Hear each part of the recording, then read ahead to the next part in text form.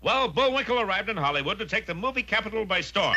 But so far, he hasn't even drizzled. With his mattress full of money, though, he was an immediate target for a talent scout named D.W. Grifter, who looked a lot like you know who. Stick with me, booby, and your name will be in lights. Oh, I can see it now. Me too. Bullwinkle J. Moose. Bullwinkle J. Moose. No, no, no, no.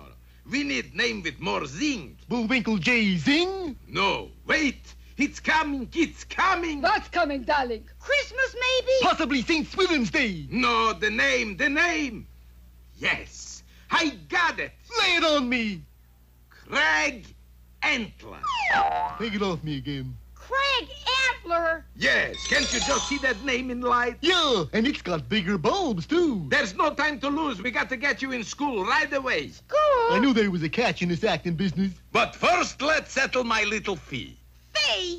Fee? Yes, I take 10%. Of my salary? No, of your mattress. Well, the next day, a poorer but no wiser Bullwinkle, Please, Crag. uh, Crag, enrolled in the Thimblerig School of Drama and Dance and awaited the appearance of his dramatic coach. I'm all a Twitter, Ross. Shh, I think he's coming. Hello, hello, hello. Allow me to introducing myself.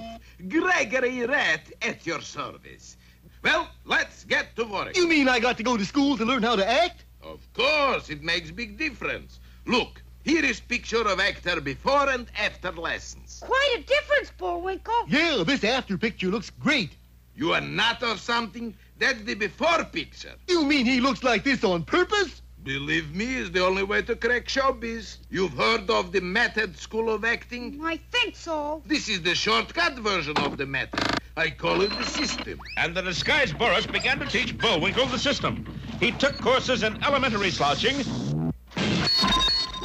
advanced slouching, t-shirt tearing, contemporary beards and how they grew, and theoretical and applied mumbling, all at the rate of $20 an hour. Boris was very happy. Look at that pile of frog skins, Natasha. Won't Moose catch on eventually, Boris? Catch on. Look at that face, Natasha. Yes, I guess you're right. But the villains hadn't counted on the intelligence of Bullwinkle's buddy, our hero, Rocket J. Squirrel. Bullwinkle, you look terrible. Yeah, isn't it great? When I get to be a complete mess, I graduate. But you're not learning anything. Not learning anything. Listen. What was that? That was my mumbling lesson for today. Pretty good, huh? Gee, Bet I... you couldn't understand a word, could you? No, and neither will anybody else. Nobody'll ever give you an acting job. But at that moment, the door burst open and in strode a commanding figure. Hold it. Don't move a muscle. Can I tremble a little? Marvelous, sensational. He's just what I want. And who are you? You don't know me, you pest. Mm. Who is he, Miss Fitz? Is the famous movie director, Alfred Hitchhike.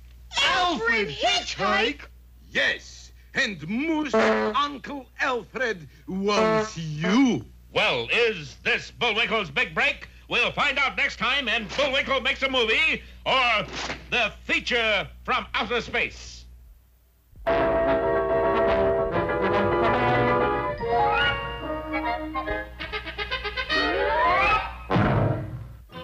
The Bullwinkle Show continues after these messages.